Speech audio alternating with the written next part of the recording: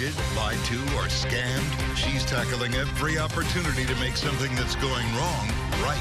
Better call Behnken. A Spring Hill man needed a new air conditioner. The AC company he called in February presented a proposal for energy efficient upgrades to his whole house.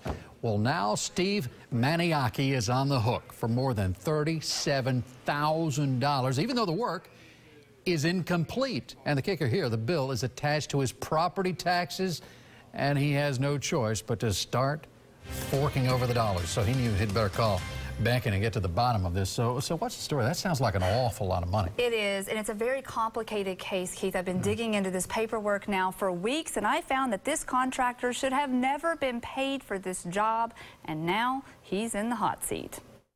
That's the new unit. And Steve Maniaki wanted a new air conditioner. Air Masters of Hernando County sold him a lot more. He said, and you do this one time, you, if you're going to you know, get this done, you can get anything to help your house as long as it's to improve the home, like your doors, your windows. Like the selling point that closed the deal he could finance the whole project through a federal program called PACE.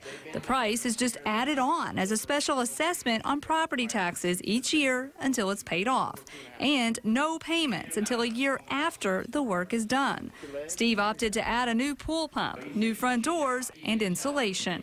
It sounded good. Nothing was coming out of my pocket. Shortly after the AC and pool pump and part of the insulation was put in, Steve tells me work stalled no one would call. So by the end of the week, I'd start calling him. Angel, are you coming? He'd blow me off. No answer, no nothing. The whole weekend goes by, never saw him, never heard from him. That is when he realized he was in trouble. He called the finance company, Ygrene. She goes to tell me that um, this job was already completed.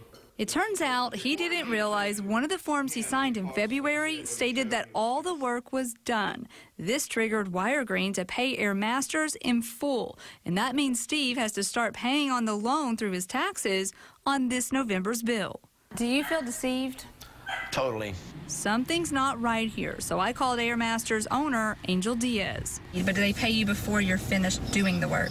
I was told it's all a misunderstanding and the job will be finished any day now. Well, that call was more than a week ago, and nothing has happened at Steve's house.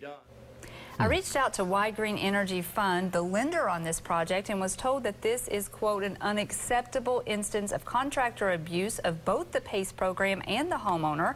And as a result, Ygrene has cut ties with this contractor. But company officials tell me they are going to help this homeowner. In fact, Ygrene sent another contractor to Steve's home this morning to review the work that needs to be done. And a Ygrene vice president tells me that they're willing to pay for that to help make this whole. Well, they should. Mm -hmm. I mean, that, that's part of what they were hired to do. Uh, but what about inspections? I mean, that's a lot of work this guy had done here. Did anybody come and sign off on it? No, he did get a permit for part of the work, but nobody came to sign off on it. And the county is investigating this contractor for two other cases, hmm. looking at licensing and permitting issues. And now they're investigating Steve's case as well. So there's hmm. a lot still to be done here. Mm.